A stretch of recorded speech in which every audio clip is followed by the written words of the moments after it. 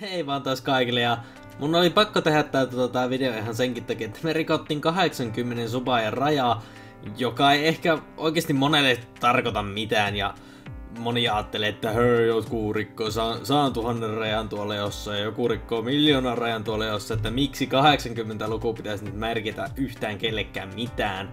Sehän on pieni tekijä siinä vaiheessa. Mutta mulle se on vaan niinku silleen maaginen luku, että mä heti sen jälkeen, kun me rikottiin 70 raja, niin mä ajattelin että huh huh, mitenkä niin näin montakin ihmistä voi olla, näin rakastettavaa ihmistä voi katsoa mun videoita. Niin sitten kun me koko ajan kriipattiin ja kriipattiin lähemmäs 80 rajaa, nyt se tänään sitten tapahtui, niin mä oon aivan räjähtänyt tästä niin kuin ilosta ja mä oikein tiedä miten tähän reagoida sille, että muulla tavalla kuin tehdä tää video ja kiittää teitä kaikkia. Ää, ja videoiden jakamisesta kertomalla muille ja muutenkin vaan tykkäämällä mun videoista ja katsomalla niitä. Sehän se on se pääpointti tässä, että te katsotte minun videoita ja toivottavasti pidätte. Ja nyt mä oon viimeinkin ruvennut saamaan sitä, niin kuin sitä positiivista palautetta, mitä mä oon aina halunnut, joka oikeasti tuntuu niin ihanalle. Mä en oikeasti voi kuvata sitä paremmin kaikki kiitos, mitä mä oon saanut mun töistä, ihan virallisissa niin töissä. Koska YouTube, YouTube on mulle harrastus, tää ei ole mun työ. Vitsi kun olis, mä olisin niin tyytyväinen, mutta ei sen puolen. Tää on harrastuksena tosi hauskaa tekemistä.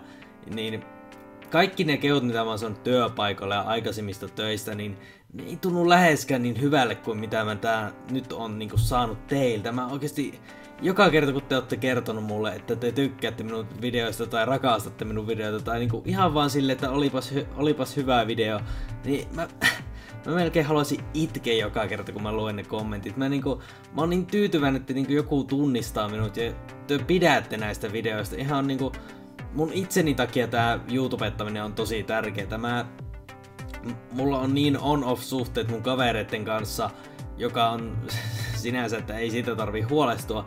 Mä, se johtuu ihan vaan musta itsestäni.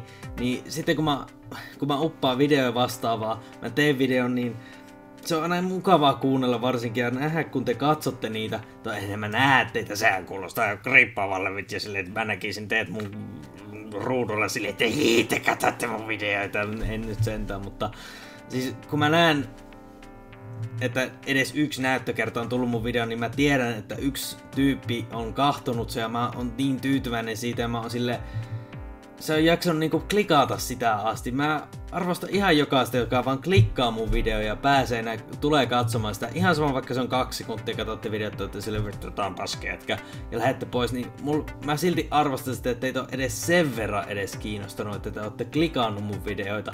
Koska mä pyrin aina vaan parempaan. Mä pyrin aina siihen, että mä pystyisin nostamaan mun tason niin videoiden tekijänä ja varsinkin niille, jotka odottaa uutta arvostelua, mä oon tosi pahoilla, niin mulla on niin paljon muuta nyt meneillään tässä mun elämässä, että mä en niin oo saanut tehtyä.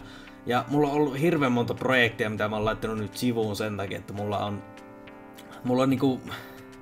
Mulla on hirveästi puolivalmiita arvosteluvideoiden skriptejä valmiina, mutta mulla on tullut nyt esimerkiksi ongelma, että mun tää kamera, joka just sopivasti. Mutta tää kamera, millä mä kuvaan ne kaikki mun arvosteluvideot, missä mä itse on niinku kamerassa, niin tää on hajonnut tota, sillä lailla, että se rupeaa vinkumaan, kun sillä yrittää kuvata mitään. Niin se on tosi paljon myös viivyttänyt sitä, plus sitten, että mulla on ihan oikeasti kaikkea muuta ollut meneillään, niin mä en oikein päässyt tekemään. Let's Playtä mä oon pystynyt tekemään, koska ne on suhteellisen helppo aina te- teetättää. Ja tehdä, mutta taas editointi kestää taas oma aikansa, jos, jos jaksoissa on paljon editoitavaa. Niin tää on ihan vaan oikeasti niinku kiitos teille kaikille, ihan oikeasti teille 80. Ihan sama katsotteko työ minun videota vai ette. Jos te katsotte, niin vielä suurempi kiitos teille. Te teette ihan oikeasti mun jokapäiväisestä arkielämästä niin paljon parempaa. Ja mä, mä en vaan voi uskoa sitä, että 80 ihmistä tuntee että mä oon heidän arvoinen YouTubettaja tässä Suomenkin YouTubettaja, ää, mikä se on huudeilla, sanotaanko nyt näin, niin se on kiva tunne, se on kiva, ihan mu, siis se on mahtava tunne, että te niin kuin, näette sen minussa. Ja mä pelkään sitä, että mä niin kuin, jollain tavalla joskus, jos mä lopetan videoiden tekemisen ja tai ylipäätään, että mä jollain tavalla te petyytte minuun. Mä en halua sitä ikinä. Mä yritän tehdä kaikkein parempaa. Jos te petyytte minuun, niin se on ehkä yksi isoimpia kolhuja, mitä mä saan sitten ihteeni. Mutta taas kerran suuri kiitos teille kaikille. Mä en voi kuvata tätä sanoilla. Ja ki- toivottavasti tämä kiittäminen, tämä sana, ei menetä sitä arvoa. Mulle se ei ikinä menetä sitä arvoa. Ehkä teille, kun te katsotte, se sanoo, miljo- se on, sanoo miljoona kertaa kiitos, mutta kun mä en oikein voi muullakaan tavalla kuvata tätä mun fiilistä kuin kiittämällä teitä. Ja mä oikeasti rakastan teitä jokaista katsojaa yhtä paljon. Te ootte maailman ihanimpia ihmisiä, mitä mä tiedän. Joten kiitoksia, jos olitte mukana tämän koko mun pienen hetken tässä keskustelussani. Ja tota, tähän vaan pidemmälle. Jaka, jatkakaa videoiden jakamista, jatkakaa kommentoimista, jatkakaa katsomista, jatkakaa vaikka vaan olemalla, olemalla upeita ihmisiä kun te olette. Niin kasvatetaan tätä meidän yhteisöä aina vaan parempaan suuntaan. Joten nähdään taas ensi kerralla uudessa videossa ja se on moi moi!